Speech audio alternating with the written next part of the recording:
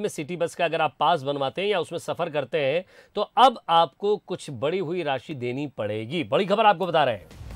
राजधानी में city bus का सफ़र महँगा हो गया है। मंथली पास के लिए मिलने वाली सुविधा में कटौती की गई। अब दो में सिर्फ़ पैंसठ ट्रिप की ही सुविधा मिलेगी। तो पहले इसी राशि में, इस दो की राशि में ही सौ ट्रिप की व्यवस्था थी। पाँच रूट घूमना अब महँगा हुआ है। तो सालाना पास में कोई बदलाव नहीं है, लेकिन मंथली पास में ज़रूर बदलाव किया गया है।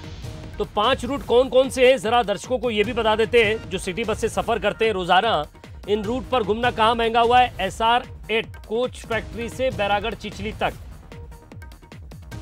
T R one Chirayu hospital से गुलमोहर, सलैया तक। जहाँ आप मंथली पास दो सौ निन्यानवे का बनाते हैं, पैंसठ ट्रिप की सुविधा मिलेगी। वहीं अब आपको पहले 100 ट्रिप की सुविधा मिलती थी, अब पैंसठ ट्रिप की सुविधा मिलेगी।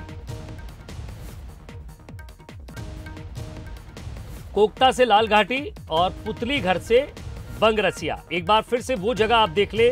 कोच फैक्ट्री से बैरागढ़ चिचली, चिरायु हॉस्पिटल से गुलमोहर सलैया, गांधीनगर से अयोध्या बाईपास, कोकता से लाल घाटी, पुतली घर से बंगरसिया। यानी कि यहाँ जो डेली सफ़र करते हैं, रोज़ाना सफ़र करते हैं, उनको ज़रूर थोड़ी सी जेब ढीली करनी पड़ेगी।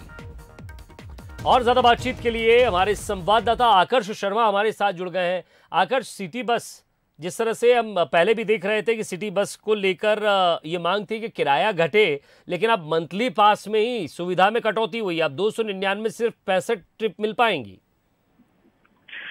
जी भैया, जिस तरीके से लगातार मांग उठ रही थी कि जो बसों का किराया है बीआरटीएस का, उसके कम होने चाहिए, लेकिन उससे विपरीत देखने को मिल रहा है कि महँगाई की मार चल रही जनता के ऊपर एक और भार डाला गया है। बीआरटीएस के जो पास थे जिसमें पहले दो में सौ ट्रिप की जाती थी, लेकिन अब सिर्फ़ पैंसठ ट्रिप ही की जाएँगी। पाँच रूटों पर सबसे ज़्यादा ये जो किराया है वो महँगा हुआ है। कारण बताया जा रहा है कि बीआरटीएस लगातार घाटे में जा रहा है और बीआरटीएस में जो निजी बस संचालक जुड़े हुए हैं उनका आ, काफ़ी पैसा बकाया है और ऐसे में आखिरकार नगर निगम और स्मार्ट सिटी जो कमिश्नर हैं उन दोनों के साथ जब बीआरटीएस के कर्मचारियों की बैठक हुई तो आ, लगातार जिस तरीके से हमने कोविड काल देखा है और जब बसें खड़ी रही तो कहीं ना कहीं काफ़ी नुकसान बीआरटीएस को उठाना पड़ा है।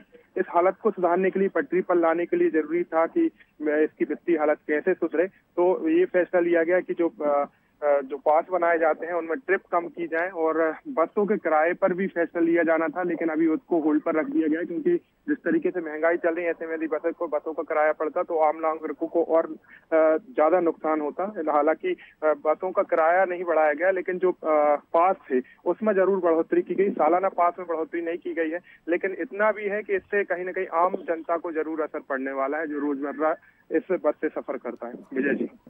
वाकई तो राजधानी में सिटी बस का सफ़र महँगा हुआ है और लोगों को ये कह सकते हैं कि थोड़ी राहत नहीं है यहाँ, उन पाँच रूट पर।